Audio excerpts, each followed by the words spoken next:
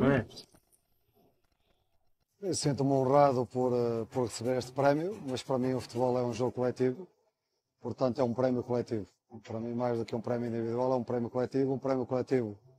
para toda a gente que trabalha no clube, desde o do staff, desde o,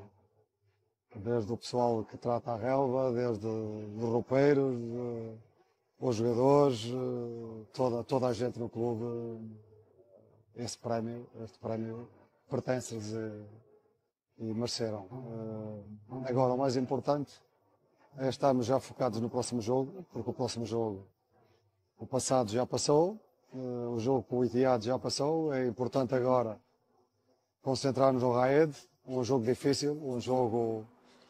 que vai exigir eh, o melhor de nós, eh, que vai exigir também da nossa, dos nossos, da nossa, dos nossos torcedores, dos nossos, dos nossos adeptos que venham ao estádio, que nos venham ajudar, que nos venham apoiar, eh, porque o prémio também é deles, quer dizer que somos uma família eh, e os prémios que recebemos são prémios eh, para toda a família e quando precisamos de apoio, apoiamos uns aos outros, como família também. Tanto a família do Shabab, eu espero vê-la junta no próximo, no, próximo, no próximo jogo contra o Raia.